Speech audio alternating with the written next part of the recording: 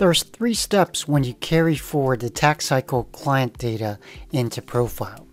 The first one is copy the TaxCycle client data to a new folder, submit the client data for carry forward conversion, and then three, open converted files in Profile.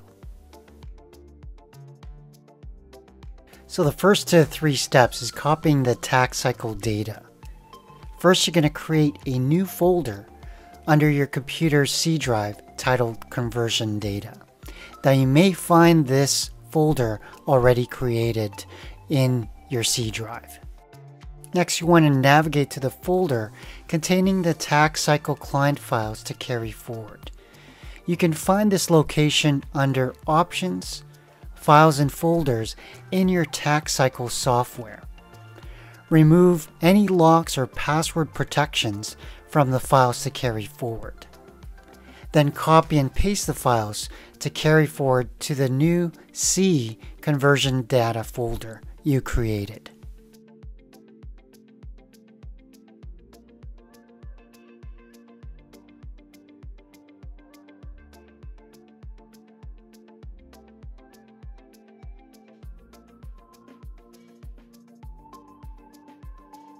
The second step is submitting the client data for carry forward.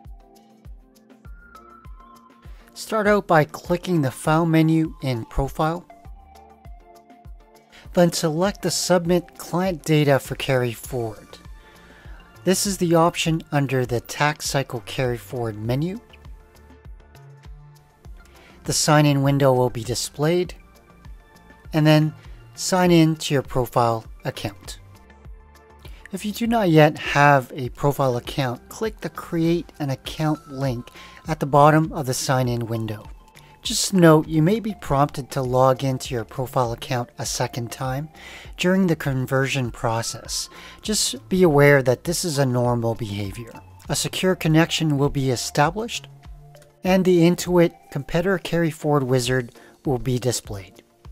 Click the I am ready button to proceed then the module selection window will be displayed. Now select the applicable module from the drop-down menu corresponding to the files to undergo conversion for the carry forward process. For example, a TaxCycle T1. Note each module's file must be converted separately. It's not possible to convert T1 and T2 files at one time.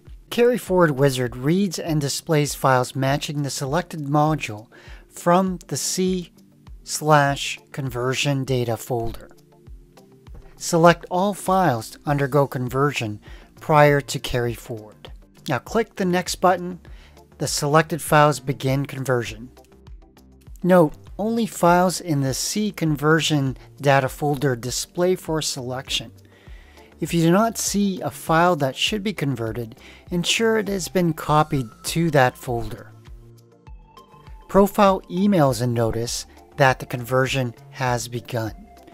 Conversions may take several minutes, depending on file size and the number of files being converted. A progress bar displays conversion progress, and a conversion complete message displays when the files are successfully converted. And a note, Profile will convert downloaded tax cycle files to Profile compatible format for being able to open and work in Profile. Profile emails a notice that the conversion is complete. And the last step is opening the converted file in Profile. Now click the Close button click Finish, or click Open Destination folder to review the converted files in the My Profile Data folder on your computer.